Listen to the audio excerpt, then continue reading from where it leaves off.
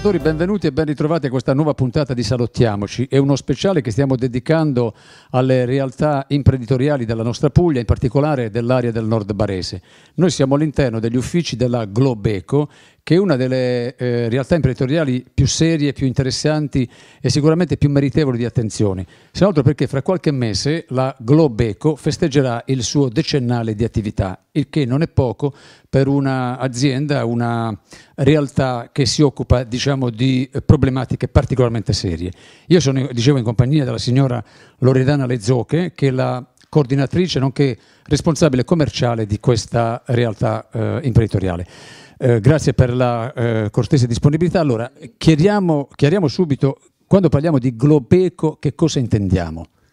Quando parliamo di Globeco sicuramente parliamo di un'azienda innovativa, un'azienda attenta all'ambiente, in questo momento um, con molte problematiche, quindi tutti quanti stanno interessando all'ambiente. E quando parliamo di Globeco parliamo di un'azienda diversa dalle altre, quasi unica nel suo genere, parliamo di un'azienda che sicuramente recupera del rifiuto al 95% di tutto quello che entra in questo, in questo impianto, in questo stoccaggio quando parliamo di Globeco parliamo di una realtà che è stata una delle prime, forse primissime in Italia, ad occuparsi di RAE.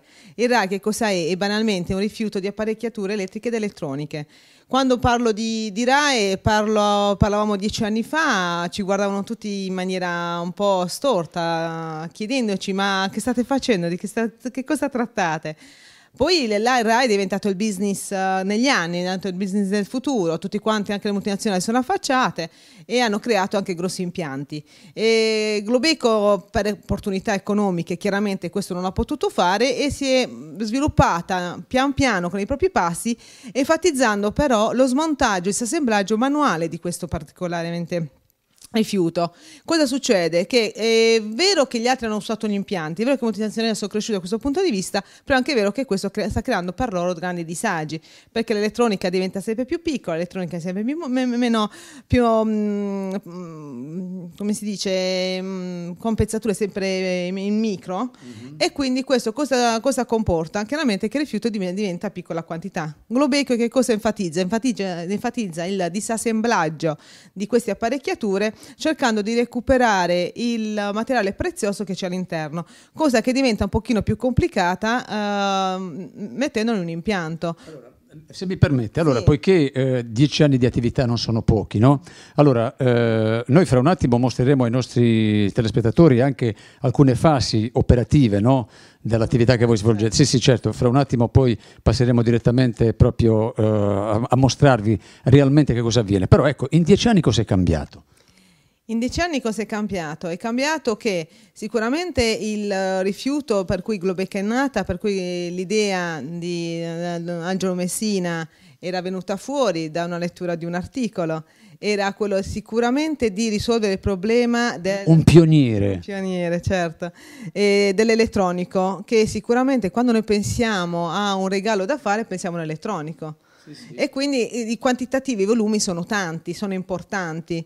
E quindi quando dieci anni fa ci eh, siamo avvicinati a questa realtà è anche vero che abbiamo trovato apparecchiature contenenti materiali preziosi, perché non, non, non conoscendo ancora altri materiali da poter fungere grazie alla tecnologia, in dieci anni lo vedete benissimo voi, dei computer che prima erano 50 anni fa era veramente una casa, oggi siamo a, una, un, a un 10 centimetri, comprendete bene come era importante 10 anni fa eh, fare attenzione a questo rifiuto e come sicuramente diventa interessante scoprire altre tipologie di rifiuto dove hanno ancora questo, questa componentistica. Parliamoci chiaro, questo significa impegno, aggiornamento, informazione, questo significa, ricerca. Questo significa di uno studio quotidiano sulle problematiche ambientali, sui rifiuti, sui rifiuti nuovi, su, sulla ricerca di comprendere come uh, farli rientrare in, in, vita. Rientrare in vita non significa, come si può vedere magari eh, come in questo momento è di moda, ridarlo eh, con un mobile, ridarlo con un quadro. Ritornare in vita significa dar lavoro a tanta gente, significa recuperarlo, riciclarlo e uh, darsi la materia prima, invece di svilupparla da un'altra parte, avere la materia prima in casa per poter chiaramente realizzare altro. Una prima ultima osservazione, stiamo parlando del 95-96% del materiale che viene recuperato, cioè praticamente non viene buttato niente o quasi. quasi. niente praticamente, tranne quei rifiuti ahimè, che non hanno ancora una destinazione ben corretta, ben precisa e che purtroppo va in discarica, ma veramente una percentuale eh, irrisoria. Globeco e ho vantaggio di dire, ho l'onore di dire che in discarica noi praticamente non ci andiamo e che tutto quello che entra in questa azienda studiamo sempre e comunque eh, per poter dare la possibilità di tornare a vivere come materiale di riciclo. Allora, lei signora, se ci permetterà, adesso mostreremo alcune fasi proprio di, di operazioni vere e proprie di questo smaltimento, riciclaggio, eccetera, per cui abbiate la gentilezza di seguirci.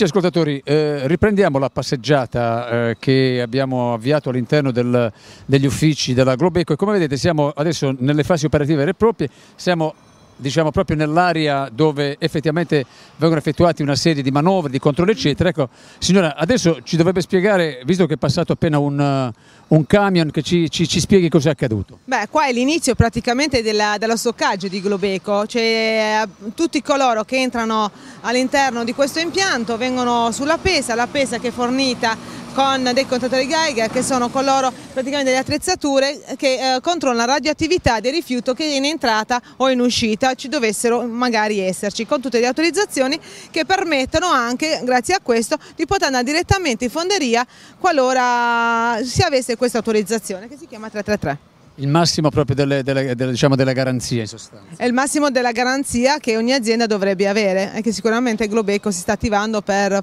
tutte le procedure del caso. E qui entriamo in un discorso come dire, più di natura burocratica, amministrativa, che spesso costituiscono diciamo, i problemi più grossi. Beh, il rifiuto sicuramente è un settore dove di problematiche burocratiche ne, ne veramente tante e non a caso prima di entrare in questo impianto ci abbiamo messo tre anni. Quando parliamo di problematiche di burocrazia parliamo dal, dal sottosuolo, quindi dal dono studio geolo, di geologia che abbiamo fatto fare di qua a 500 anni, parliamo delle migrazioni degli uccelli se non passano per le emissioni atmosfere, delle, delle autorizzazioni delle, delle, acque, parliamo delle autorizzazioni per uh, i codici CER, per quali rifiuti possono uh, entrare e non entrare, quali si è trattati, quali non trattati. Le problematiche ambientali sono tantissime giustamente, perché solo questo ha permesso a Globeco di, di crescere in questa maniera in questi anni. Noi ne siamo lieti, anche perché volevo cogliere l'occasione, visto che appunto abbiamo dato un'occhiata al camion, no? evidentemente il camion arriva da chissà dove, ecco, i, rapporti, eh, i vostri rapporti anche diciamo, sul piano del lavoro si spingono fino a dove? I nostri rapporti di lavoro in questo momento posso dichiararlo che sono a livello italiano, quindi noi proprio in questo momento il nostro camion sta ritirando del materiale da Milano, siamo una delle poche aziende che ritiriamo del materiale dal nord e lo portiamo giù perché lavoriamo tutto quel materiale che gli altri non vogliono lavorare e che mandavano prima all'estero cosa ovviamente pericolosissima e cosa poco opportuna e dove uh, Globeco ha come suo simbolo che puntualmente cerca di mettere Globeco Made in Italy, significa lasciamo rifiuti in Italia, non mandiamoli all'estero. Cioè, diciamo che se può essere anche una, una, scelta di tipo diciamo affettivo o c'è anche qualcosa di commerciale? Assolutissimamente no, affettivo sicuramente perché no, però andiamo in una, una, spiegazione un pochino più particolare, più significativa. Il rifiuto trattato all'estero viene trattato senza autorizzazioni, senza queste procedure burocratiche che noi in Italia dobbiamo adempiere giustamente. All'estero come abbiamo visto in Cina viene trattato tutto il materiale senza regole, sfruttando tutto tutto quello che può essere dal minore alla persona e lavoratore, invece qua quando dico uh, rifiuto Made in Italy significa dar lavoro soprattutto al nostro popolo che già è molto carente, significa lasciare la materia prima e seconda nella nostra nazione. E di questo anche ne abbiamo bisogno invece di comprarla all'estero, significa avere un vantaggio a livello ambientale per non far ritornare il nostro rifiuto sotto forma di giocattolo, sotto forma di altro, ma inquinato. Ecco, amici ascoltatori, purtroppo noi siamo costretti a sintetizzare e a condensare tantissimi concetti in, in, poco tempo, però io devo ringraziare la signora diciamo, della, della, sua estrema sinteticità e chiarezza, però per terminare vorremmo mostrarvi ancora dell'altro, abbiate la bontà di seguirci. Quando dico Globeco elettronico, quando dico leader nel settore, almeno nel centro-sud, dico questo, dico materiale elettronico che raccogliamo, materiale elettronico che entra uh, tramite i nostri colleghi, altre aziende, materiale elettronico che entra che viene stoccato, viene poi posizionato, viene controllato, visionato, posizionato in alcune ceste che vengono riportati poi nel reparto dove ora vi porterò per il disassemblaggio e la lavorazione di tutto quanto le materie prime e seconde. Mi tolgo una curiosità cara signora, allora eh, qui sono circa 5-6 mila metri quadri, no? un capannone enorme, ma quanta gente ci lavora? E in questo momento siamo a circa 25 dipendenti. E la cosa interessante dove sono orgogliosa di dirlo non abbiamo nemmeno uno straniero, questo perché chiaramente la crisi comporta del, del personale in esubero qua in zona, ma devo dirlo è che sia sempre stato così dal primo anno che abbiamo iniziato questa attività di dare spazio ai nostri giovani, al nostro sud che sicuramente ha delle risorse molto interessanti. Sono d'accordo nel senso che qua c'è sempre tanto da, da vedere, da illustrare e per cui amici ascoltatori seguiteci ancora perché la signora ha ancora qualcosa da mostrarci.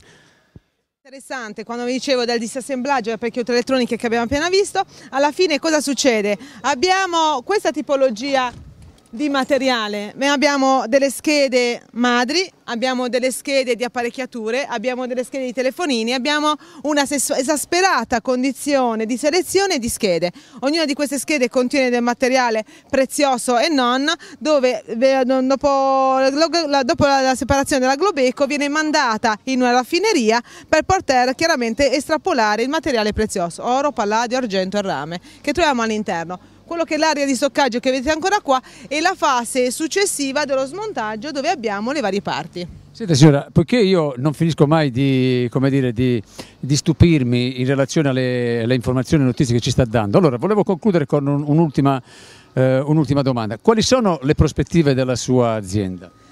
Beh, le prospettive della mia azienda è sicuramente quella di ehm, far crescere Globeco nel rifiuto sempre più um, ricercato, esasperato, fino ad arrivare al processo successivo. In questo momento siamo nella separazione di queste componenti di cui vengono date un'altra azienda.